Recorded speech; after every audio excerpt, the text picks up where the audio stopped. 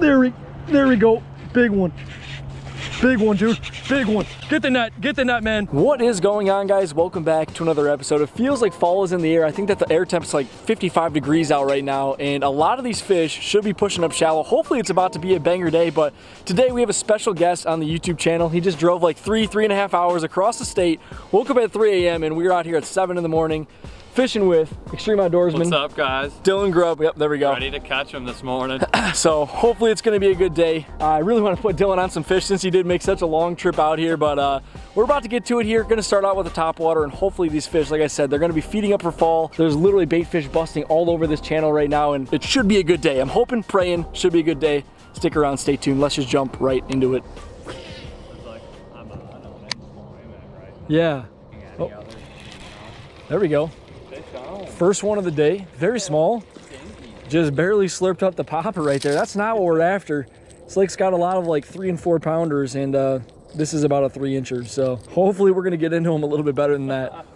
there you go, dinky. Maybe half a pound. Dinky in the top water. I've never fished this lake.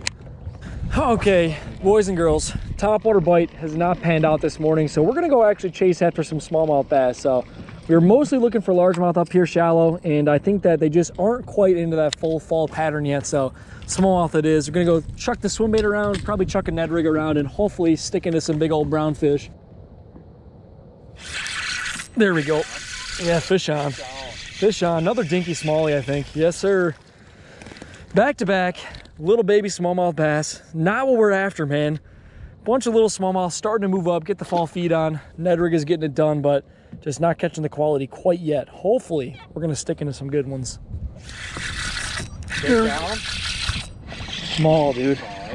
Yeah, a little smallie. That's a good sign, though. Little smallmouth bass on this little offshore point, and hopefully they're gonna be stacked up there. Hopefully that's the first of many. But all we've got so far are these little dinks. That one's probably the best one yet, and it's, you know, maybe a half pound or whatever. Eight inch smallmouth bass, but usually smallmouth like to school up in the fall so i'm hoping that there's going to be some more up here. So midday update for you guys. It has been an absolute grind out here. Let me kill this motor for y'all real quick but it's been a grind. We've only caught a few dinks. Probably didn't even put them all in the video. We caught like three little smallmouth one little largemouth and a few rock bass but have not stuck a single solid fish and uh, we're actually about to hop lakes because it's just we gotta find them it's not it's not working here. So we're gonna move lakes, so stick around, stay tuned. Hopefully the next one, the next one's got a ton of fish in it. We're gonna catch a lot of like 12 to 14 inches, but there's also some giant bass in there. Like one of us might hook like a five, six pounder. No promises, but it could happen. But done. we're about to go head over to that lake though, guys. So uh, we'll be right back with you with hopefully some better sized fish. The first lake, like I said, was a big bust, but we have just arrived to lake number two and we're gonna pull out a little rig that a lot of you guys probably have never seen before, maybe heard of it, but probably a lot of you have never thrown this. We're gonna be throwing a power shot, straight 65 pound braid, big old three quarter ounce weight, and we got a little three aught ZoneLoc flipping hook on there. And we're gonna put a little Biospawn Exopod on here, start flipping this around some docks, flipping this around some of these pads, and hopefully, like I said, there are some giants in here. Hopefully we're gonna be leaning into some very big bass in just a moment, but little power shot rig, three aught ZoneLoc, and uh, got to turn this day around. Had a very, very rough morning. Literally fished for like four hours, and I caught maybe like four bass that were my size of my hand. Very, very small, so got to start getting right back on track and uh, try to link into like a five pounder here.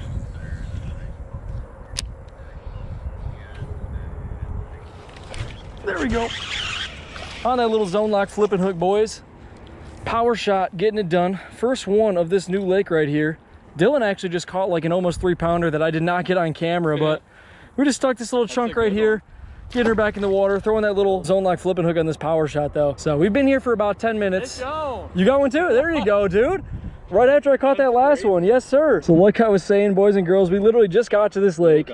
Dylan caught an almost three pounder and then we just doubled up pretty much on these two little guys right there. But I'm flipping around this power shot, ZoneLoc, flipping hook, and uh, he's throwing that Ned rig right off the break, and both of them seem to be working. So gonna keep flipping this around, try to get a bigger bite for you guys. I'm sorry that I missed that three pounder. It was pretty good fight, but go check out his channel. You guys could see it. Hopefully we're gonna stick into a three plus ourselves as well though. Got it. Oh, there we go. Got him on that power shot rig. Yes, sir. Another like little one pounder. I have not caught a single nice fish today, but We'll take him. Another little chubby guy right there. That three aught zone lock is getting it done up here in this shallow water. Little chubber going back in the lake. Dylan was actually just pulling off a snag back there and I just was sitting there and I just felt my line just go boom, just thump down. and I wasn't even paying attention. She smoked it. Average is only like 10 to 12 inches though. Yeah. Like that one that you caught was a rare one. Like I feel like I've caught more like four and five pounders than like two and three quarters. Like that's a weird like middle of the road fish. Don't see a lot like that. Three. There we, there we go. Big one. Big one, dude. Big one. Get the net. Get the net, man. Get the net on the power shot. Oh, buddy, get him in the net. Get him in the net. That's a giant. We were just talking about it, dude. We were just talking about that right there. tank. Oh yeah, baby. That ZoneLoc, three aught flipping hook, that little Biospawn exopod to the face. Holy We're crap. recording. That's got to be about a five pounder. Yeah.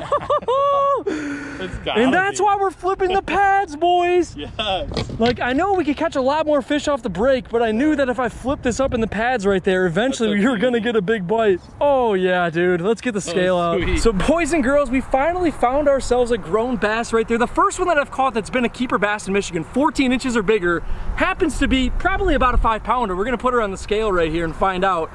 Flip that little Biospawn exopod up in the pads and uh, she crunched it. She absolutely crunched it. She's right at five. 4.96 pounds, just a hair shy of five, dude. That is a beauty. That's a beautiful bass right there. 4.96er. Gonna get a couple pictures of this fish and then get her back in the water. Beautiful, beautiful bass right there, guys. Here she goes. Beautiful, beautiful fish. Check that beast out. Oh yeah, there it is. That's what I'm talking about, boys. Good Let's fish, go. Man, that was sweet. So that right there is the fish that we've been looking for all day. We have not caught a lot of bass, but the ones that we've got, he's got like about a three pounder and we just stuck in almost five, just a hair under five pounder. And uh, we gotta do some sponsor plugging because that was awesome. And we got that thing on the ZoneLoc hook. You probably heard me say it about five times, but they pin them up and they do not let go. I was throwing that on a little three aught Zone Lock flipping hook and uh, straight 65 pound braid up in the pads. And also one other sponsor I wanna thank right here, Ego S2 Slider scooped up that big beast and uh, she was hooked good, but I set the hook so hard it had the hole like really, really big in her mouth. One bad move for me and that fish would have been gone, but we're starting to get into them guys, so we're gonna keep flipping around, hopefully flip up some more big ones for you guys. We're kind of running out of pads to flip, so I don't know what else we're gonna be able to do, but we're probably gonna go skip some docks, throw offshore. There's a lot of big fish in this lake, and uh, you just kind of kind of weed through a lot of the little ones. You gotta catch like 50 little ones and then all of a sudden five pounder, just like that. So we caught an absolute giant flipping that power shot rig, then, you know, caught a couple other ones here and there, but we're gonna kind of switch up pace here start throwing the Ned rig, start throwing the jig off the break and maybe around some docks as well. But hopefully we're gonna catch another giant. Like they're in here, as you guys saw, there are big, big bass in here, but there's also a ton of little ones. So we're probably gonna catch a bunch more, but hopefully one of them is just gonna be an absolute freak again.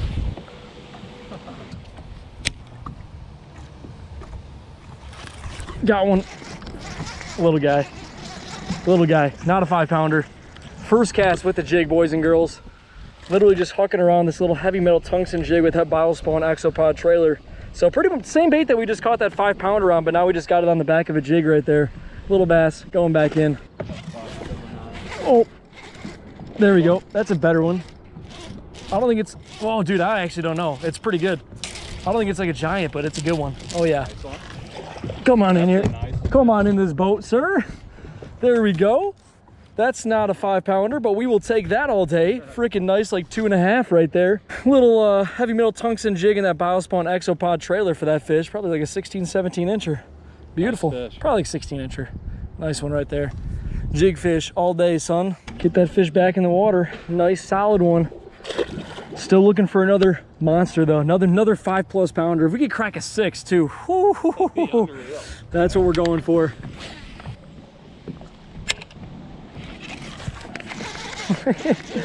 Dude, they are on this jig, man. It is one after another. I'm not even showing you guys all the fish catches because a lot of them look just like that, but we just cracked like 10 in a row, back to back to back on this jig. They're munching it. I'm just gonna show you guys the better ones probably from now on, but we're catching a lot of fish just like that. So that is gonna be a wrap on today's video, guys. We caught a ton of tiny little fish, but luckily we also stuck into one that actually mattered. A nice, solid, almost five pounder, just a hair shy. And uh, just had an awesome day in the water fishing with Dylan. First time that we ever met up in person, so had a great time out here fishing with him. Definitely go check out his channel as well. He caught a nice fish that I didn't even get on camera, so if you guys want to see that, it's going to be over there. I think that his video is going to be up a little bit after mine though, but had a good time out there. We were throwing that drop shot, that power shot rig up in the pads, and we caught that freaking behemoth on that little Biospawn Exopod. But if you guys want to check out any of the gear that we were using in today's video, it's all going to be linked down below. Uh, thank you guys so much for watching, and we will catch you guys in the next one.